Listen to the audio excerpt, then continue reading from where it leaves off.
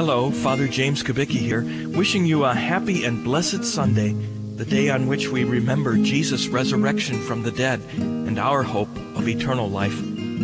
That being said, however, we do have a challenging gospel today, a continuation of Jesus' Sermon on the Mount. In the longer version of it, Matthew 5, verses 17 to 37, Jesus not only repeats the commandment, you shall not kill, but he says the same punishment for killing will come to one who nurses anger against others and treats them contemptuously. Jesus also repeats the commandment, you shall not commit adultery, and then goes on to say that if we even look lustfully at another, you will be punished as though you had actually committed adultery. This sure doesn't sound like the kind and loving Jesus that many people today use to justify all sorts of behaviors.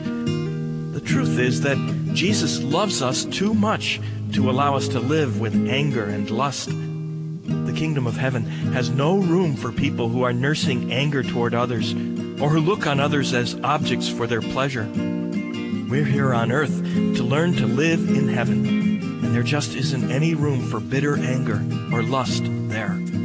So, we have to let go of it here whether they are actions that come from anger or lust or thoughts themselves, we have to be purified of them now.